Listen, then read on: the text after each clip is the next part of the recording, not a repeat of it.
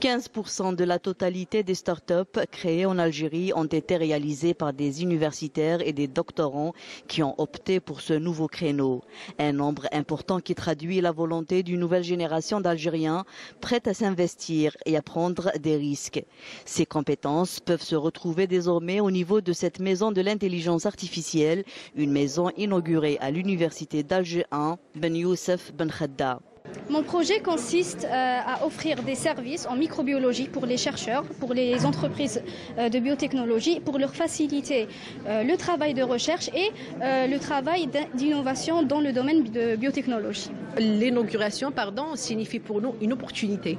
C'est normal parce qu'on a eu l'occasion de présenter notre projet pour la première fois en public. On n'avait pas cette occasion avant.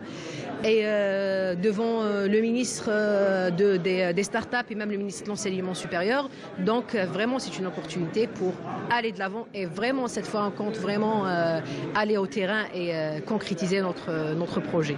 Bien sûr, c'est des, des, projets qui, portent, qui apportent, on va dire, beaucoup d'intérêt, aussi bien pour l'étudiant, pour l'enseignant, pour l'université, surtout pour le pays.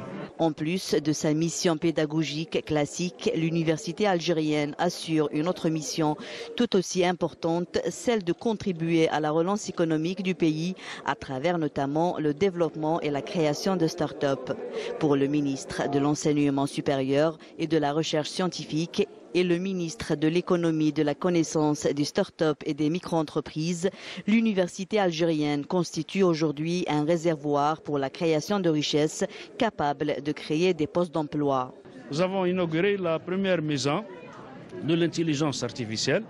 Comme vous l'avez remarqué, c'est un espace de collaboration, c'est un espace de coopération destiné à la vulgarisation de l'intelligence artificielle et à renforcer le rôle de l'Algérie dans le développement de l'intelligence artificielle. La création de ce centre euh, rentre dans cette nouvelle vision euh, entrepris les pouvoirs publics dans le domaine de, l'intelligence artificielle, euh, qui, comme, comme, vous le savez, est un domaine extrêmement important euh, en Algérie et, partout dans le monde.